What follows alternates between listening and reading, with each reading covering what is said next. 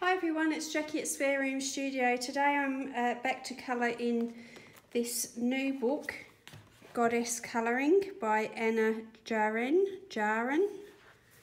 Not sure of the pronunciation. And again, I'm not sure of the pronunciation if this is correct. I'm doing Morrigan. The Great Queen Morrigan is a Celtic goddess of death and magic, destiny and war. And when I used to create my own original art, I used to really enjoy um, this as a subject. I used to like um, having a go at creating my own Celtic goddesses. So this is a subject dear to me. And I'm going to use the Sakura Koi watercolours in the Pocket Field sketch box again. Uh, this is a new book to me, so I don't know whether it's going to cope with the water very well, but we'll see how we go. I'll get started with that. And I also have off to the side Sakura Koi colouring brush pens, and I have various sets of um, the curated six colours, and I've got those off to the side here as well. Um, I also have the 12 set that Sakura provided to me as part of their Star of the Month initiative. So uh, they were gifted to me by Sakura Australia, as was this watercolour set. So I'm quite enjoying all things watercolour at the moment, as you probably have guessed if you follow me. Um, or you follow me on Instagram, you'll know that a lot of the pages have had watercolour um, somehow related in most of the pages. I have a little clip here that I'm holding the page open with. Uh, that was actually something that I won as part of a promotion with a company called Moo Boom Planner, I think it was. So that's a great little clip there to keep the book open. And we'll get started I don't know how far I'm going to get into the colouring today, but I'll try to get as much done as I can. And what I'm planning to do again today is I'm going to lift colours off of the palette um, like I do with pencils. So I'm going to start up here because it is watercolour. It is best to start furthest away so that you can work down and I'm going to have a go with, I think this one is Payne's Grey. I'll just grab the box here. Uh, 231 is Payne's Grey. So I'm just going to start with the Payne's Grey to do the crows.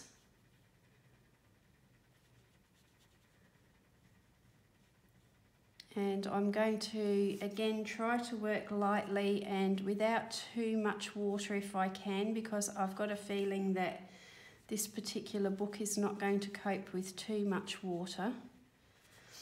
And I find when I'm doing things like crows or black animals, I like to bring in a little bit of um, other colours so that the black isn't too harsh. So I'm bringing in a little bit of 092 is Viridian Hue and I'm also bringing in 149 which is Prussian blue. So I just like to put like a little bit of that sheen of colour so that they don't look too flat.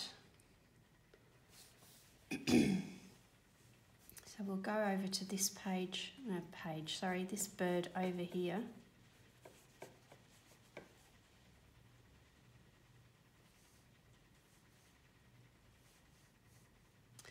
So I hope that this video finds you all well.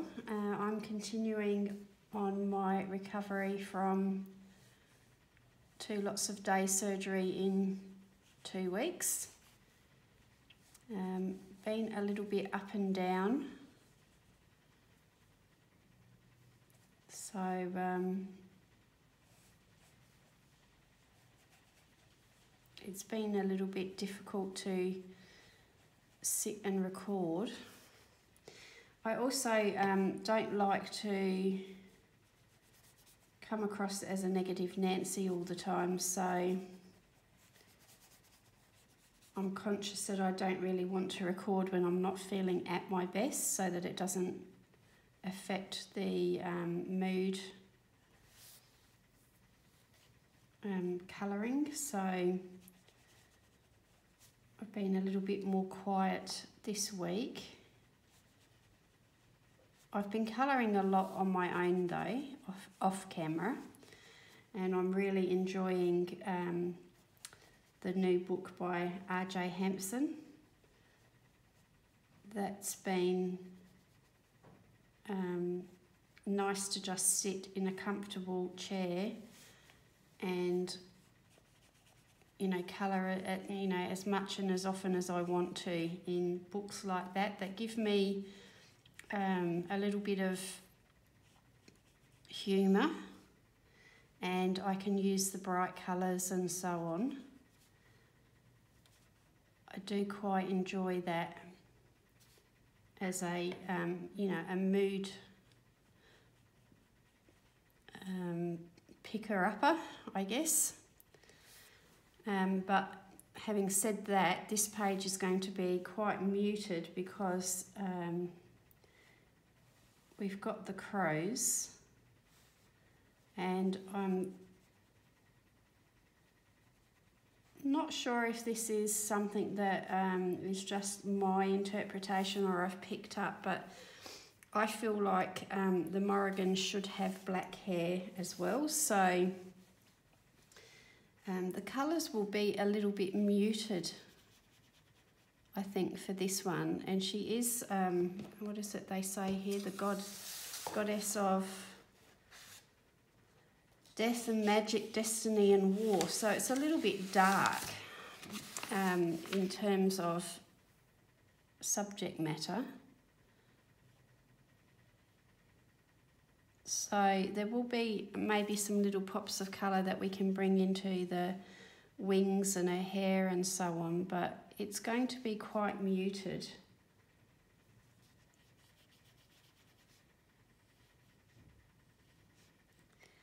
Now those watercolours are, are going on really nicely on this paper. I don't feel like the paper would cope with a um, heavy soaking. So when I come to do my background, I'm going to have to um, think about that a little bit. But working this way, you're not using a lot of water, so it actually feels quite nice the way that it's going on on the paper. So what I'm doing is I'm actually, um, I've been experimenting with either wetting the paper first like this, and I'm just picking the tiniest bit of colour up on the tip of my brush from the pan, and then using that into the damp, the damp paper. and that's working really nicely. So I used it in Christine Karron's Wildflower Folk and it worked really well on that paper. Um, I had no problems at all with it on that paper. This paper isn't going to cope so well with the amount of water that I normally like to work with. but what I'm enjoying about working with the paints this way is that um, you still get a nice effect with them even if you're not using a lot of water anyway. So I have some paper towel off to the side here that I clean my brush off on and then I'm just going to pick up a little bit more of the um, greens and the blues and that's where the, the little tiny touches of colour are going to come in.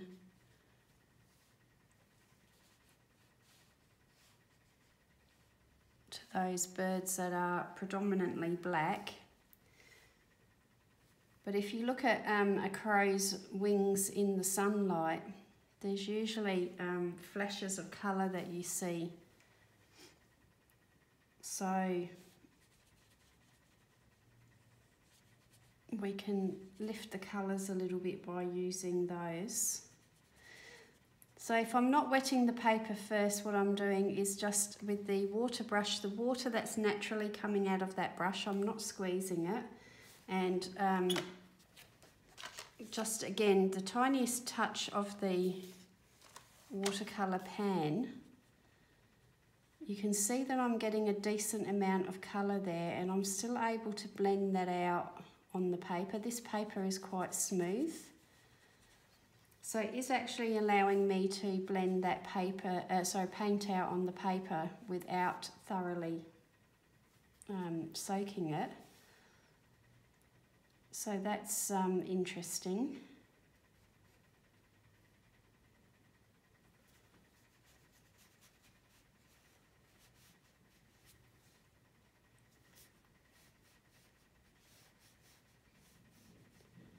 And being a Celtic goddess, I tend to think of green.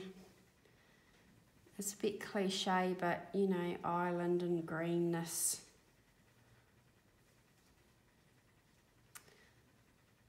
So that will all need to dry obviously, but we're going to get started on her hair. I'm going to try not to make this too long a video if we can. So again, I'm still using the Payne's Grey. The Payne's Grey has a slightly um, bluish look to it to my mind. So when I don't want to use a solid black, Payne's Grey is a really good alternative for a dark. And what I will do is at the end just use black or I can bring in a little bit here now. This is ivory black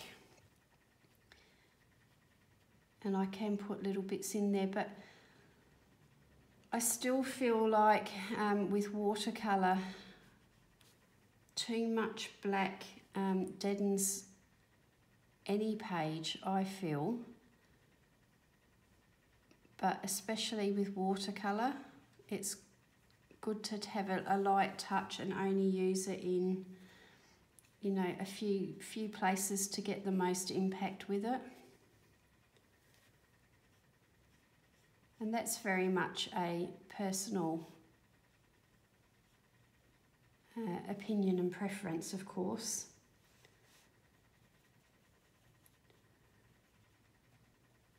So some areas I'm leaving the paint a little bit less diluted, so um, the colour is a bit deeper but I'm still not trying to cover up those lines, you know, the um, colouring book lines. I want all of that to show through, so I don't want my uh, watercolours to be too dark. Again, that's um, a bit of a personal preference. Everyone has their um, their likes and dislikes when it comes to um, colours and painting styles and so on, but I really feel like I should attempt to make watercolours light. If it's not working for me, I can always come back later and deepen up the colours or I can indeed come back with coloured pencil and do coloured pencil over the top if that's what I deem necessary. But to start with, with the watercolour, I try to um, work in a way that I intend to only use watercolours. I don't plan to come in with pencil. And then if something doesn't work, then that's when I will use the pencil or make it into a mixed media piece. But usually when I work with watercolours, I try to make the watercolour just um, the goal, you know, to be purely a watercolour piece. Especially with these paints. But I think it might be nice to bring in, uh, you know, these colouring brush pens for some details and, and strengthening up some colours. And because they're water based, I'm hoping that it will work nicely with the watercolour and not obliterate the watercolour too much.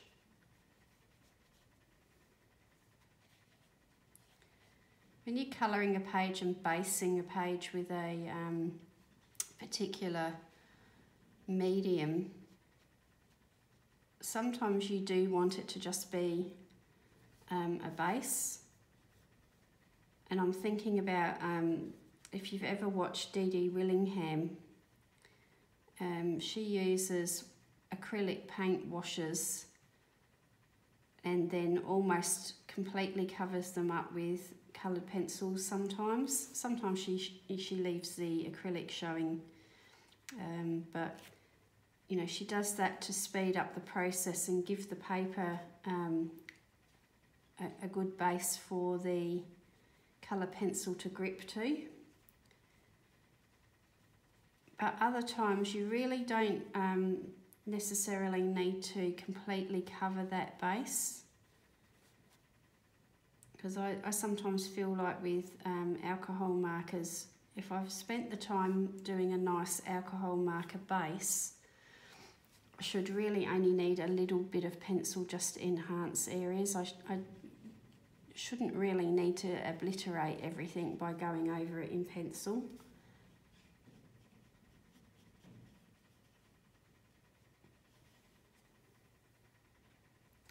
So I'm just moving back and forward between the Payne's Grey, the Prussian Blue and a little touch of the Viridian Hue.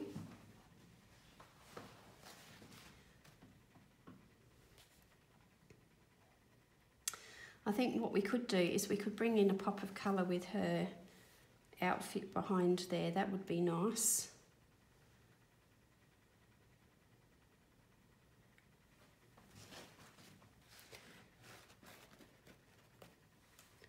And I think what I might do is um, bring in a lighter green. This one is 114. It's permanent green pale. And I'm just going to put a little bit of that into this background.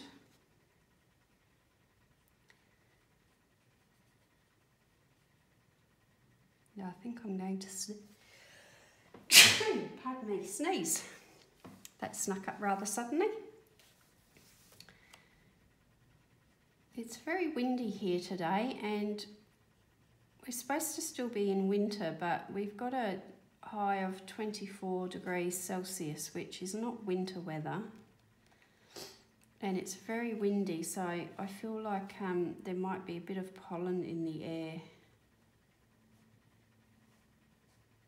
being blown about here where I live we get north winds and the north winds seem to bring down all the pollens from the areas where they're growing um, wheat and canola and different crops, you know, cereal crops and so on. And um, when the north winds blow, it seems to be the worst time for anyone that suffers with hay fever and I feel like that might be what's happening today. So that little pop of green lifts it a little bit as well.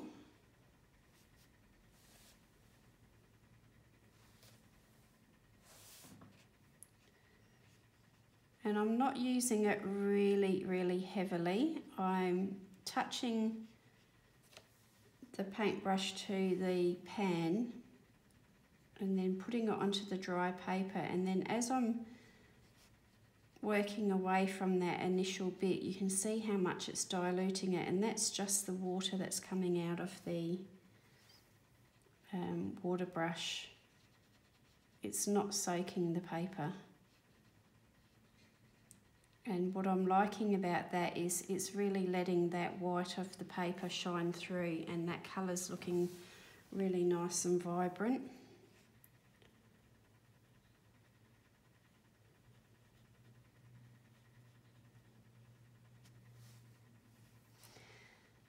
Now I said that I'd like to keep this all watercolour, but I know that it's going to be difficult to get the look that I want on the Celtic knot there. So I think I will probably be bringing in those colouring brush pens. at some stage. And luckily not using too much water like this means that the um, paint is actually drying rather quick.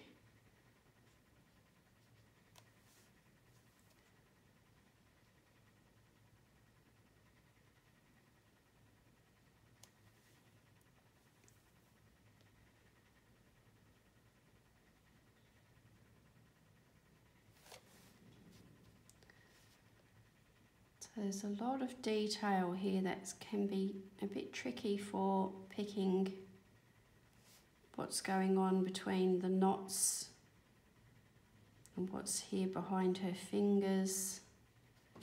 It can be a bit tricky.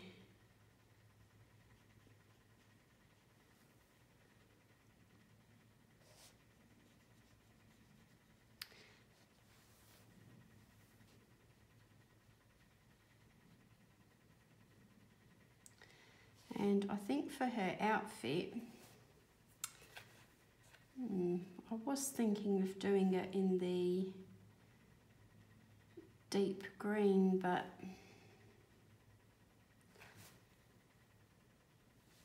we maybe put a little flash of that in the wings there too. I was thinking deep green, but hmm a gold or an orange maybe?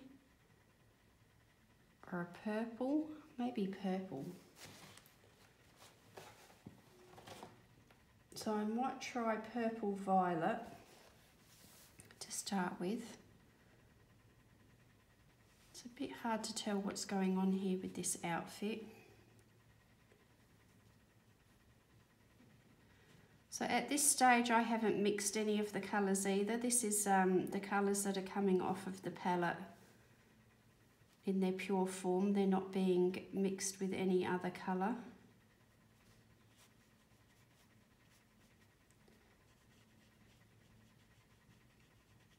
You may have seen my uh, recent video where I used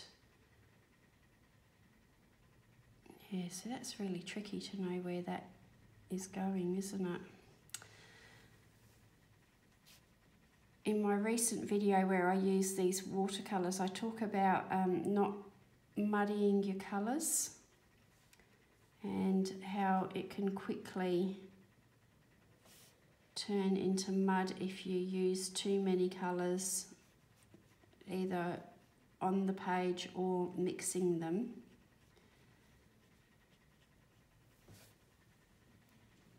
So it's a bit of a um, art in itself to mix the colours with watercolour because it you can make things look very dull and murky very quickly if you're not careful. And I'm finding it difficult here to work out what some of these areas are. So I'm just going to make that all part of her robes.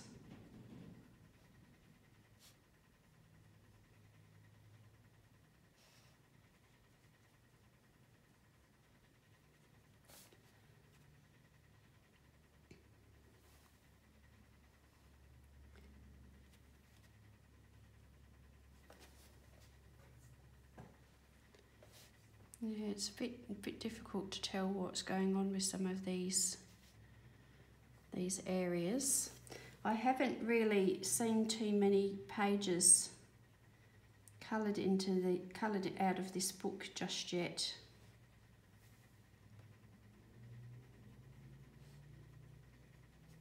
Um, on Instagram. It's a really lovely book. I'm just going to use a little bit of ultramarine deep now to make that a little bit more purple.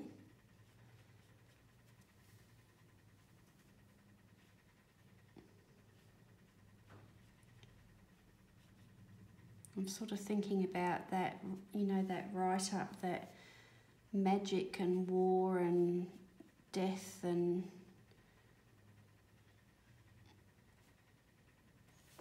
it feels like it maybe purple would be a suitable colour for her robes.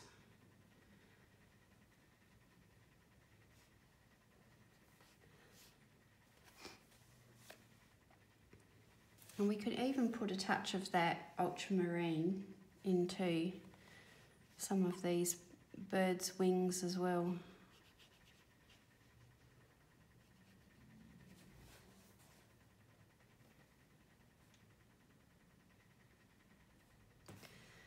Okay, I'm going to use uh, yellow ochre for basing the skin. And when I put colour on that's too vibrant like that, I just use the clean damp brush and I just brush some of that colour back off again and then I'm wiping it onto the paper towel.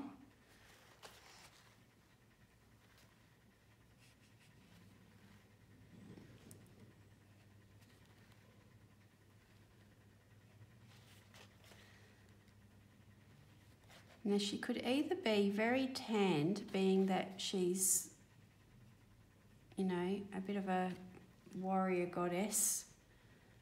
Maybe she's out in the open, in the elements, or the fact that she's a Celtic goddess, she could have very, very pale skin. So I don't want to, I don't want to go too dark too soon before I decide what I'm going to do with her there.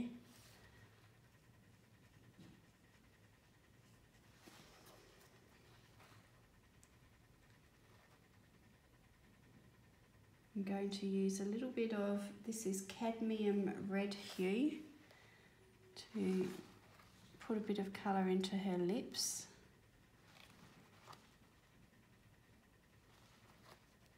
And I'll come back and um, put some shading on there. This is Crimson Lake that I'll put a bit of colour into her cheeks.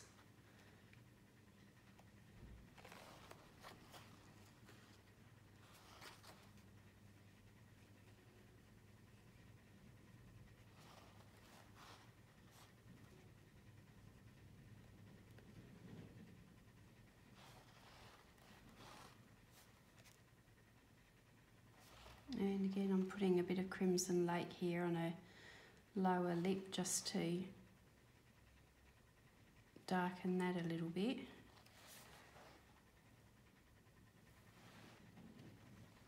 And this is the purple violet. I'm going to use that to shadow her eyes.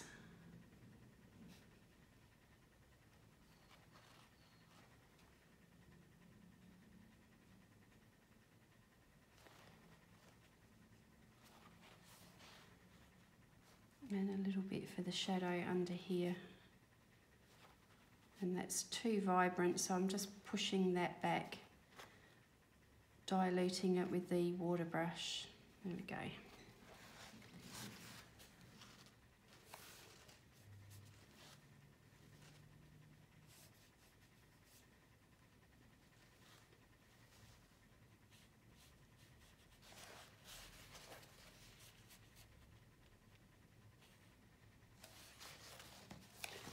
hope I'm still on camera here.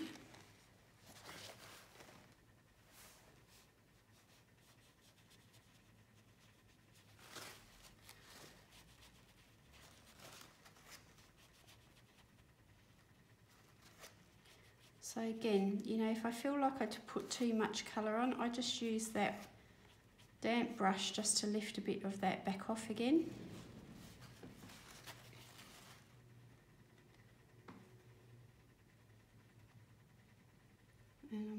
Just use a little touch of the burnt umber.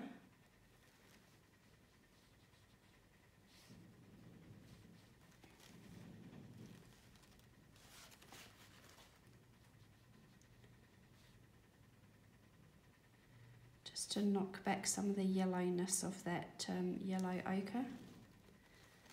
And I can see here where I've used a bit more water, it's um, made the paper look spotty. So I'm guessing it's not going to cope very well with too much water at all. And there's definitely going to be some gold being used in here. So I think the outer ring of the knot here, I'm going to use the Viridian Hue.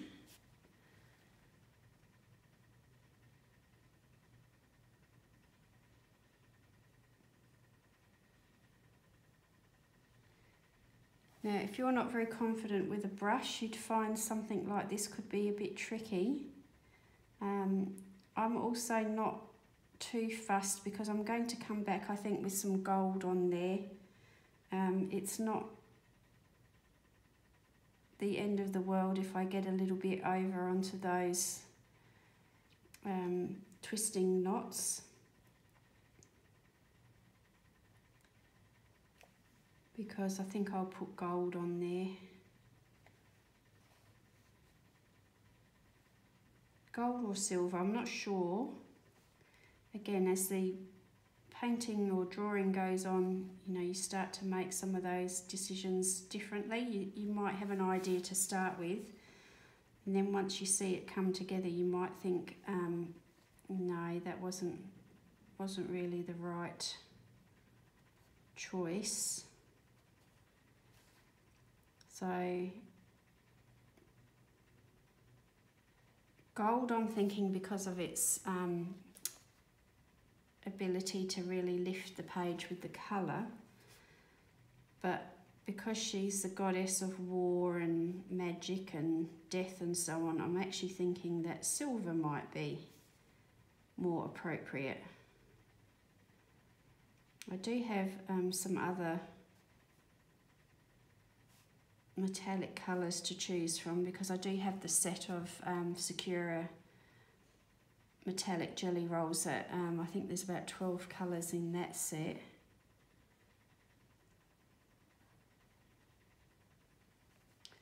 So I do have some other choices that I could go with there as well.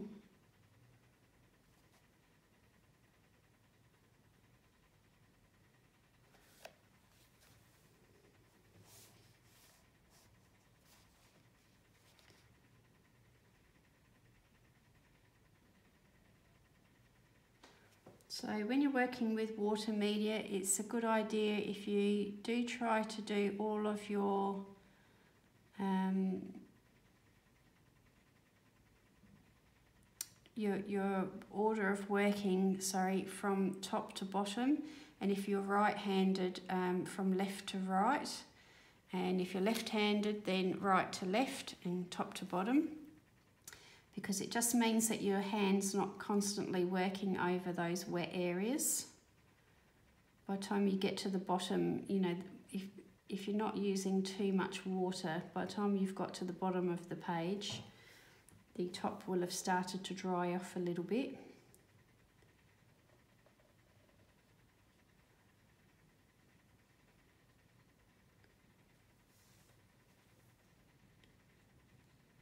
And that might seem um, an obvious thing to say, but I've been drawing and painting for some time and I still end up going in the wrong order and just, you know, picking an area that I think, oh, that looks nice to colour, I'll do that. And then I've got to wait for it to dry because I've started in an awkward place. So I do still do it myself.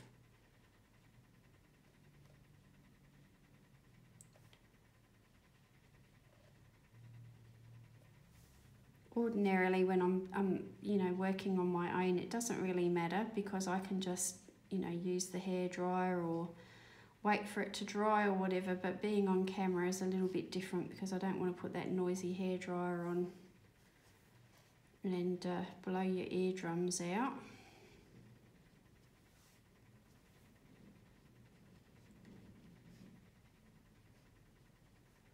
I've been thinking about whether I should invest in a heat gun. Because I think they give the um, more heat but they're also not blowing the air about so much I don't think. So I'm wondering whether they actually do work better or quicker for drying off work. So if anybody uses a heat gun you know let me know how you find it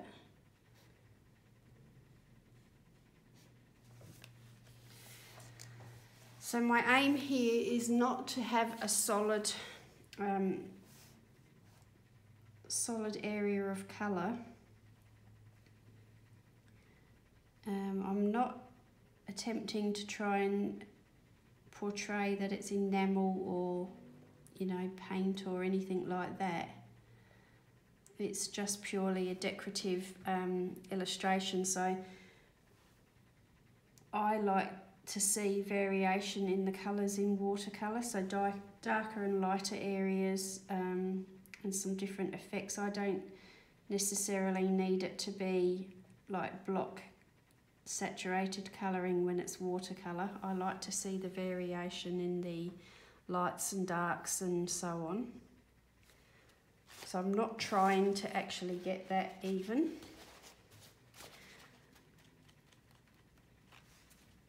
And I might also use that that colour, oh, I've got permanent green deep here. I'll use a darker green on this a bit here on her robes or cloak.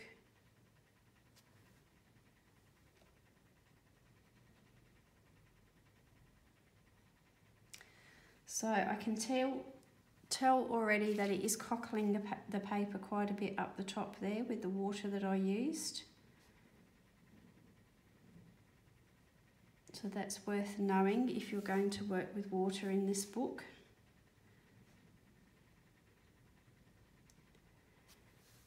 Now the back of the page has got the writing for the next goddess. So it doesn't really matter if you go, you know, unless you really want to read it um, and you're going to use alcohol marker or something that's going to obliterate it.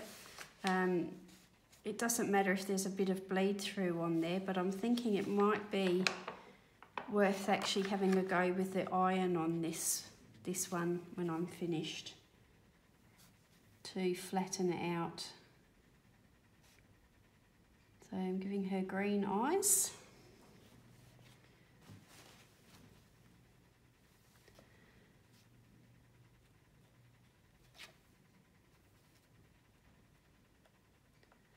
Now sometimes I never know whether to treat this as a brooch that there's something in the middle there that's different but I know with the robes they used to have those um, rings with the pin through them didn't they? So that's what we're going to imply there. We're going to I think we'll use gold on there for sure.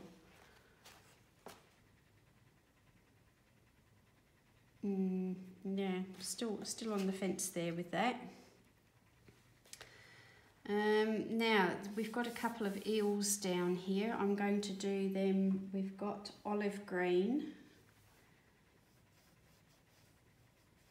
And I'm going to use that with a combination of the other greens off of the page.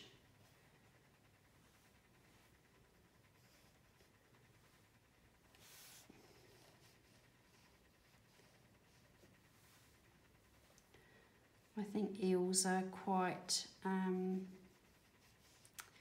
muted in colour, aren't they, in real life? But I feel like that will make the picture a little bit boring. So I'm going to use combination of the olive green and the other greens that I've got and I'm also bringing in a bit of burnt umber there as well.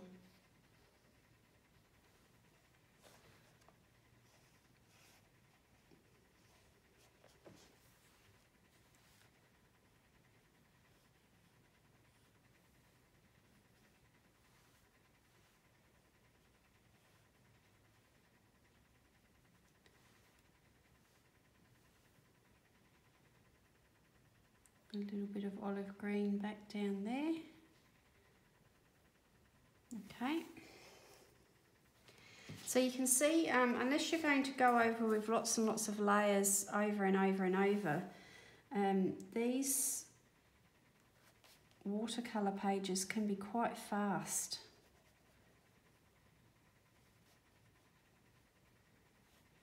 If you're not soaking them too much, they actually can be rather quick.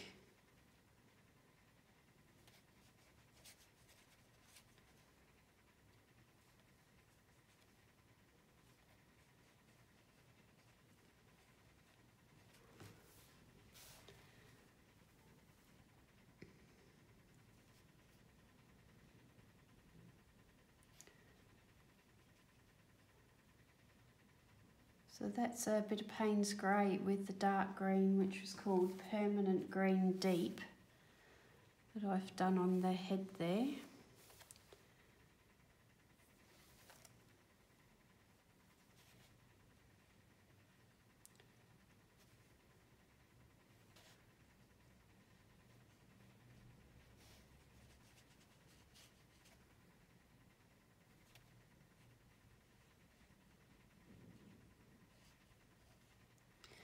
There are ways to imply that um, an animal or bird is black without actually using too much black. So I've actually, this is black what I'm using here now. So I want you to see what the difference is when you only just do a few little pops of that black to give it more impact.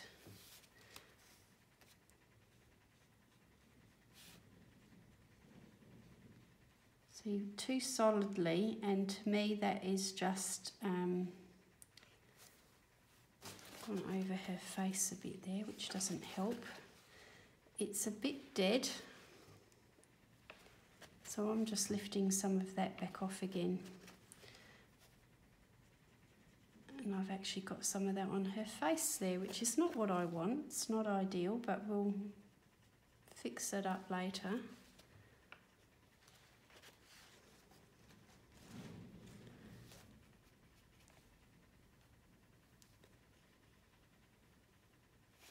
Now obviously if I was doing a lifelike portrait, I'd be a lot more careful with where I'm putting colours in her hair if I wanted it to actually look like it was real, but um, this is quite a stylized illustration without being too realistic, so I'm not going to worry about doing a totally realistic rendering of her hair.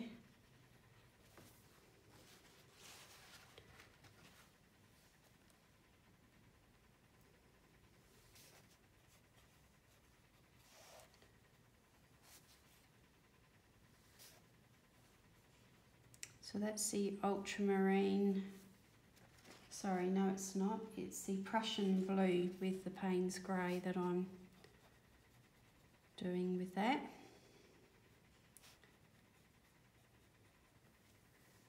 And this is the ultramarine.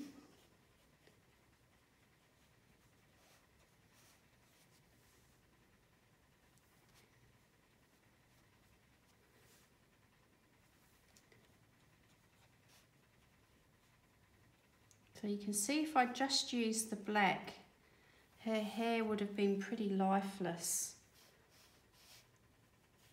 um, but adding in the highlights with the ultramarine and the Prussian blue and so on, um, still, you know, you still get that impression she's got black hair,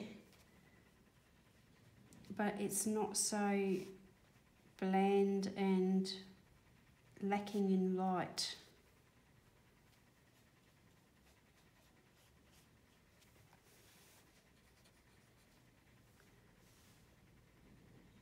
Well, hopefully that's what's coming across anyway.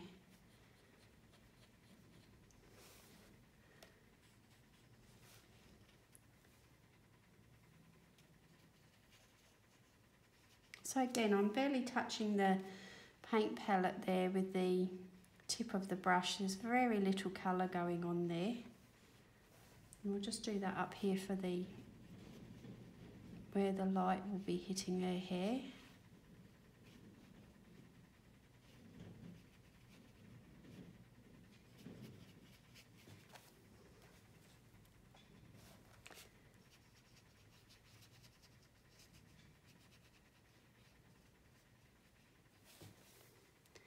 And yeah, the paper is cockling quite a bit up there.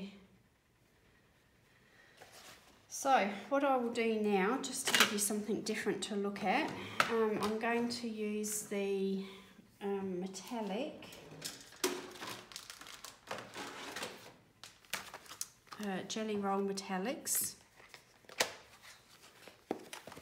And I think that gold will lift it for her jewellery.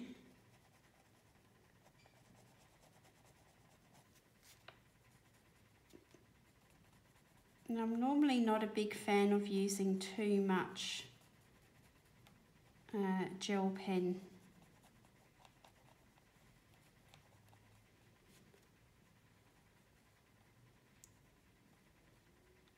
on a page, but um, you know, she's a Celtic goddess, and the Celts were known for having all that gold torques and brooches and so on.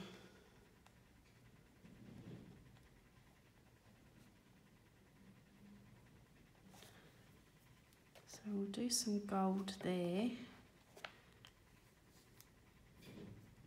And I'm actually going to do this gold as well.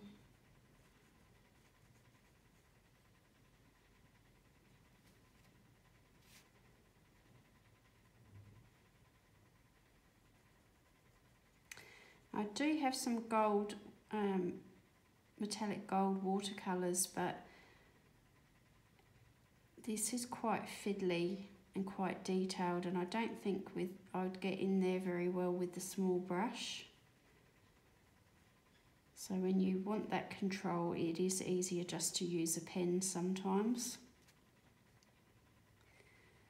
And the Sakura Gold is one of my favourites.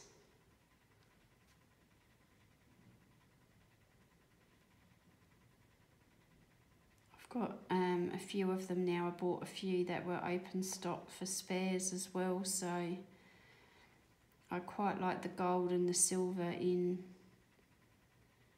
the Sakura Gelly Roll. And this um, black is very handy too because it's not overly black. It's more like a pewter. Those bits of shadow areas there I'm just going to do with that.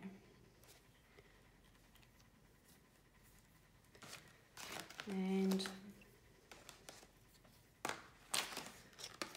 perhaps instead of doing it all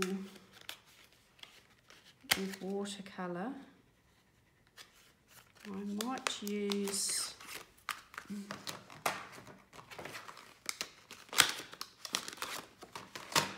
I've got um, deep yellow and yellow. So to start with, I might just use these get the colour down quickly.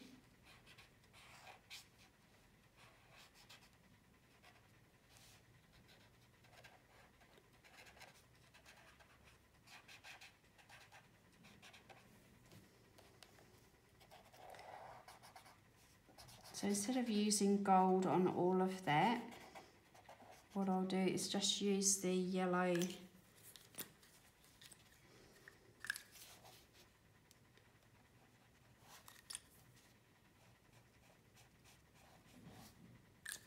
to get started. So I'm using the deep yellow here in the bits where it's overlapped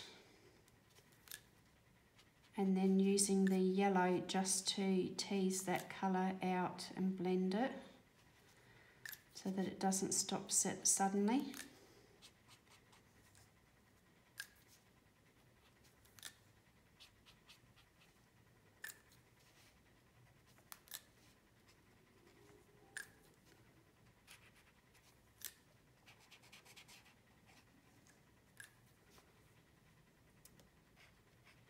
Seems to be underneath her finger there. Still not 100% sure what's going on behind there.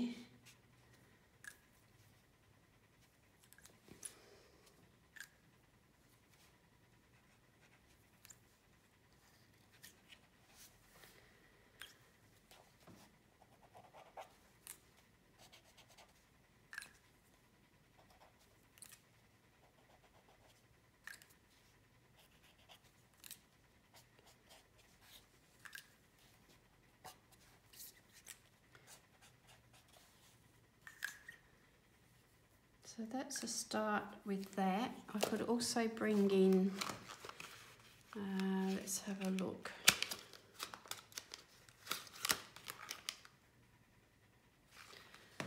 A little bit of raw umber.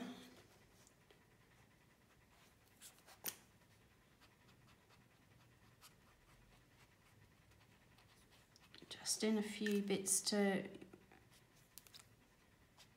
imply like a a tarnished look maybe or just that it's shadowed. I don't think I want it everywhere.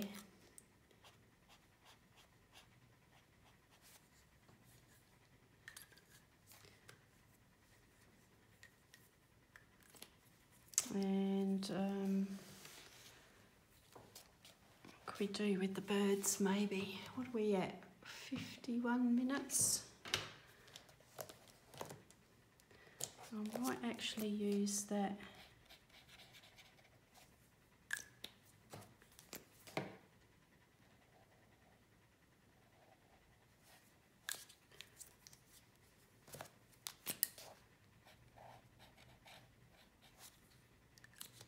in there.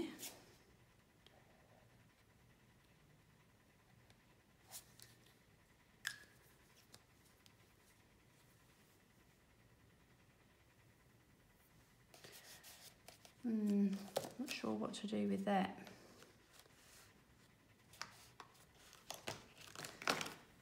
Might use this metallic here.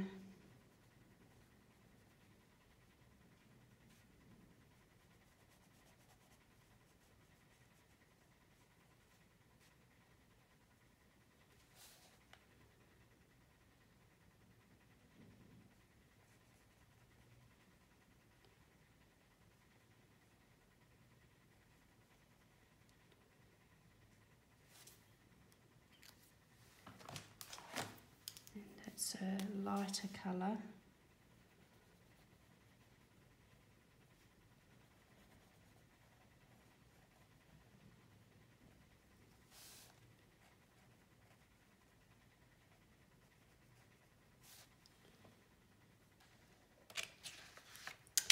Oh, I've just managed to smudge there.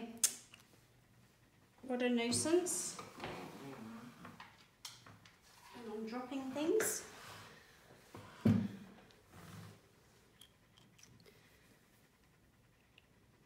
Okay, um, just having a little think about the background. In for a penny, in for a pound, I am going to do my usual washy background up there.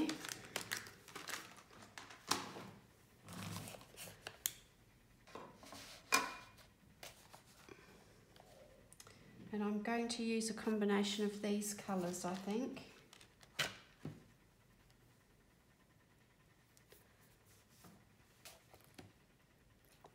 So I'm going to wet that a little bit. Get the ultramarine first.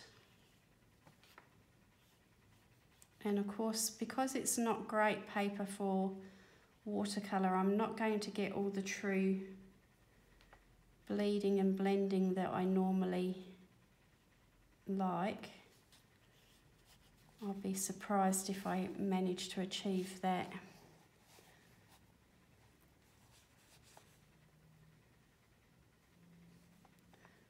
So I'm using a, a quite a bit more colour than I have so far. But that's because I'm dropping it into a very wet area.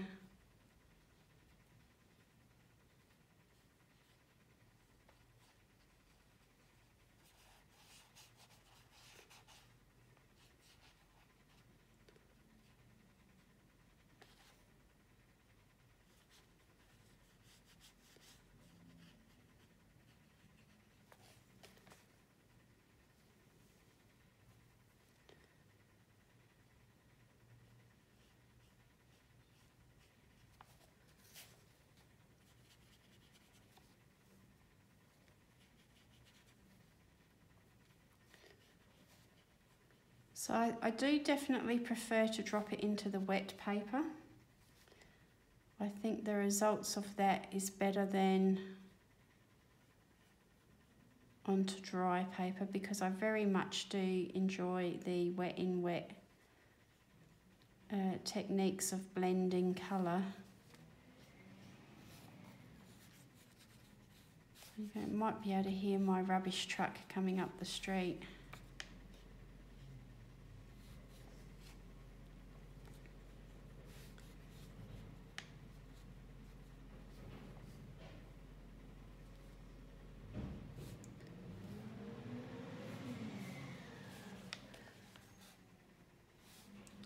Where the paper has started to crinkle and buckle, it's um, not laying flat, so those colours are going wherever they want. Not by my doing, but by the fact that the paper is buckled.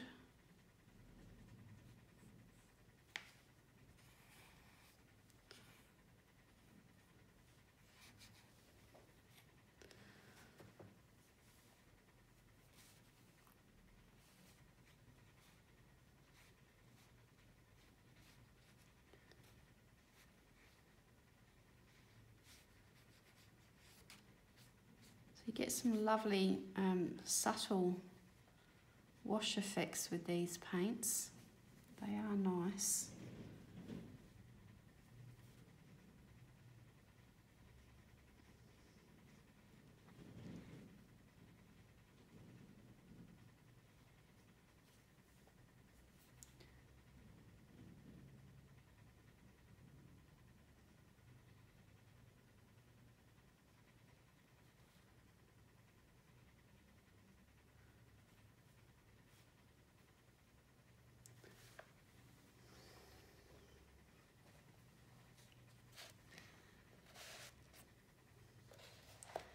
And I might just sort of fade that back down to here. I don't know that really it needs to be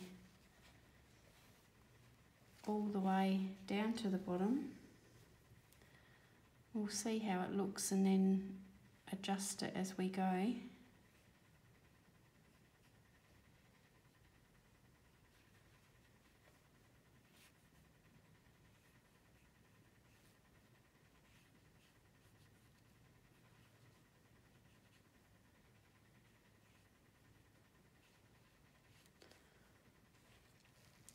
So it might be better if I get the iron onto this page because it is starting to really curl up.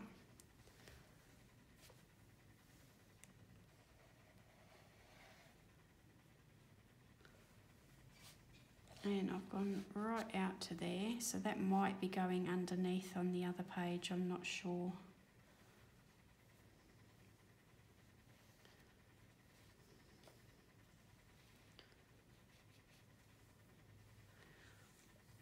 See how that dries and I might do a little bit out here.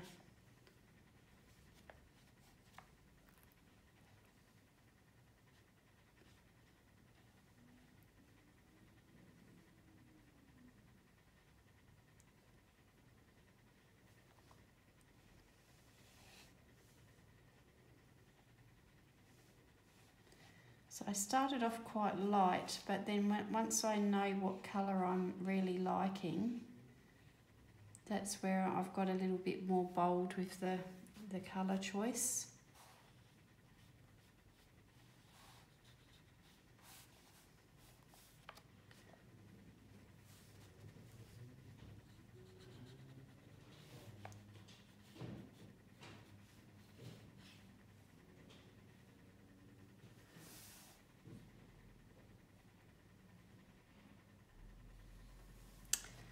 Okay, so I've really got to let that dry now. That's about an hour.